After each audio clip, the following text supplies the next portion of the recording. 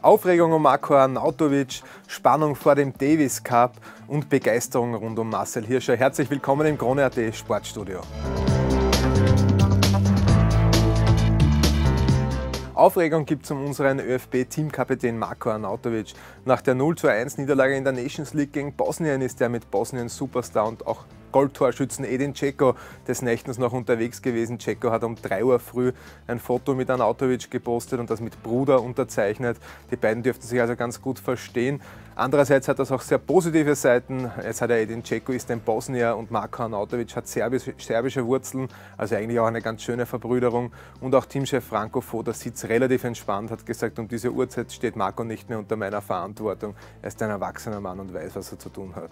Also vielleicht viel Aufregung um nichts. Ich finde auch ganz okay, dass die beiden einmal zusammen ein Gläschen gehoben haben.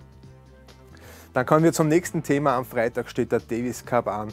Dominik Team gegen Australien. Natürlich nicht nur Dominik allein, aber unsere ganze Tennis-Equipe trifft auf den vielfachen Davis Cup-Sieger. Dominik Team hat schon trainiert in Graz mit nacktem Oberkörper zur Freude einiger weiblicher Fans, die auch am Platz gewesen sind. Er hat mit Dennis Novak trainiert und spürt schon das Kribbeln im Bauch, sagt er freut sich schon wahnsinnig auf diesen Davis Cup und natürlich auch auf Sand spielen zu können.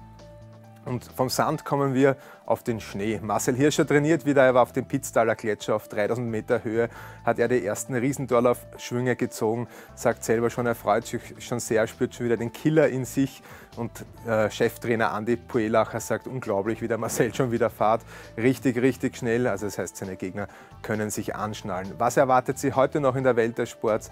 Österreichs Basketball-Nationalteam spielt um äh, 18 Uhr gegen Zypern in Schwächert, EM-Vorqualifikation ist das und dann haben wir noch die Kletter-WM in Innsbruck, die beginnt schon in den frühen Morgenstunden, geht den ganzen Tag über eine tolle Veranstaltung. Ich wünsche Ihnen einen schönen Sporttag und bis zum nächsten Mal. Baba.